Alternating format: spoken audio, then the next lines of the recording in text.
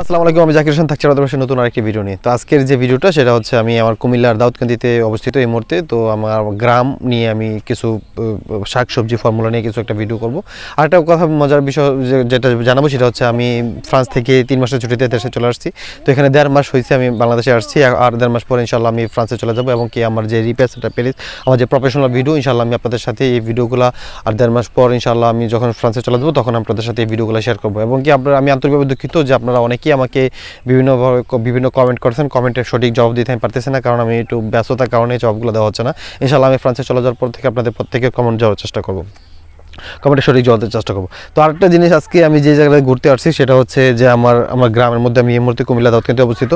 আর কুমিল্লা দাউদকান্দিতে আমার নিজের চোখে নিজের চোখে আমি প্রথমে যে আখ গাছ দেখলাম, যে আঞ্চলিক ভাষায় যারা বলে কুইশর বলে, যে কুইশর গাছ প্রথম আমি জীবনে প্রথম সরাসরি নিজের চোখে দেখলাম। আমি জানি এগুলো উত্তরবঙ্গে কুষ্টিয়া, রংপুর, দিনাজপুর এগুলো হয়। তো এখন কুমিল্লাতে যে এগুলো চাষ হচ্ছে এরকম এরকম- এরকম চাষ চাষ হিসাবে এবং কি এরকম এত সুন্দর দেখতে পাওয়া যাচ্ছে, আমি জানি না। এবং কি এর আগে আমি শুনছি, এর আগের বছর এগুলো গত বছর নাকি আমার কাকা কাজিন হয় সেও এগুলো চাষ করছিল এবং কি সে খুব ভালো ফলন হয়েছে মোটামোটা এবং কি অনেক মিষ্টি, সুস্বাদু, ভালো।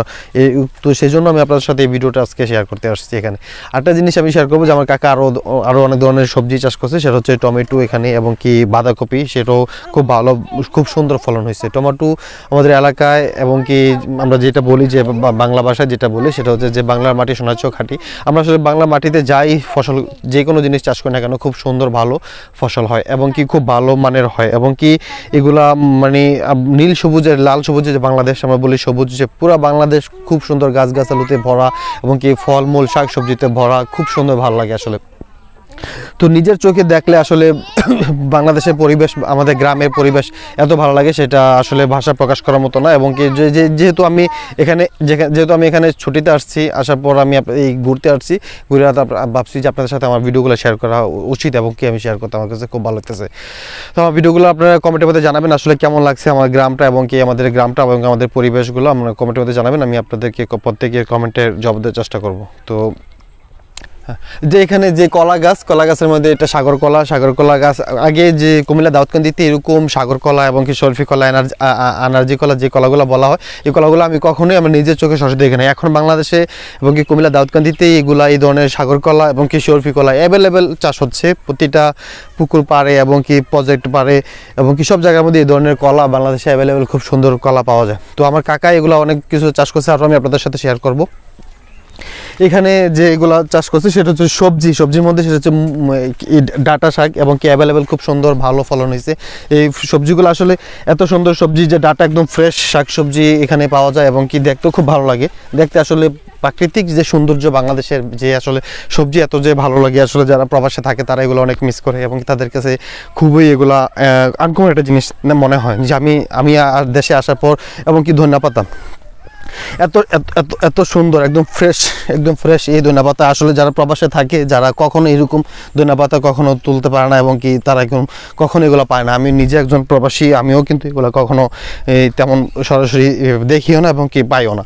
তো আমরা এই বাসি এগুলো খাইতে হয়। আরেকটা জিনিস হচ্ছে এখানে আরও ধরনের ডাটা শাকের পরে যে টমেটো টমেটোগুলো দেখতে এত সুন্দর দেখেন অনেক টমেটো পাইকা একদম লাল হয়ে আছে এবং কি তার সাথে মরিচ গাছ একদম কাঁচা মরিচ যেগুলো যেগুলা এত ভালো লাগে দেখতে আসলে আমাদের গ্রামটা আসলে, গ্রামটা এই যে ধান ধান চাষ করছে অনেকে, ধানগুলা এখন মাত্র ধানের ছড়িয়ে আসছে। এগুলা হয়তো আর এক মাস পরে ধানগুলো পাকবে। তো আসলে তারপরে আসে ভুট্টা এবং কি চারিদিকে প্রচুর ফসল। ফসল হচ্ছে যে টমেটো টমেটো, লাল শাক, ডাটা শাক তারপর কলমি শাক, ধনিয়া পাতা, লাউ এবং কি কইডা তারপর টমেটো কাঁচামরিচ।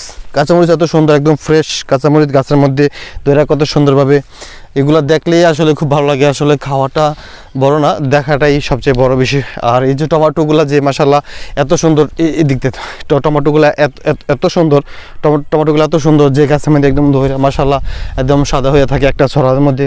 এখানে এই যে ছোটো একটা ছড়ার মধ্যে ছয়টা টমেটো আসছে। তো এরকম গাছ, গাছের মধ্যে যে যখন ফসল হয়, বাংলাদেশে যে কোনো জায়গাতে আমরা যে কোনো জিনিস চাষ করি না কেন, খুব ভালো ফলন হয় এবং কি খুব ভালো। এবং যে এগুলা যে কত সুন্দর সবজি, একদম ফ্রেশ গাছের মধ্যে মশালা কত সুন্দর ধরে রয়েছে। এগুলা যে এত ভালো সবজি হয়, এগুলো আমি কখনো জানতাম না। আর এইগুলো দেখতেও খুব ভালো লাগে। আসলে দেখতেও খুব ভালো লাগে। তো আমার কাছে ভালো লাগে, আপনাদের কাছে কেমন লাগে সেটা জানি না, আপনারা অবশ্যই কমেন্টের মধ্যে আমাকে জানাবেন আমার ভিডিওগুলো আপনার কাছে কেমন লাগে তো আজকের জন্য এই পর্যন্ত নেক্সট ভিডিও ভিডিওতে কথা বলার কোনো বিষয়, অন্য কোনো কাজ নেই, সে পর্যন্ত ভালো থাকবেন, সুস্থ থাকবেন, শুভকামনা, আল্লাহ।